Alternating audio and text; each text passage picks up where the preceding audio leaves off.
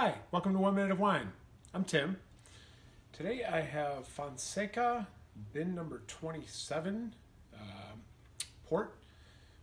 This is a ruby port from Portugal. Uh, ruby ports are aged under two years, so they're usually a little bit uh, brighter, fruitier than tawny ports. Uh, get some of the red fruit on the nose, cherries, raspberries, and a little bit of chocolate as well.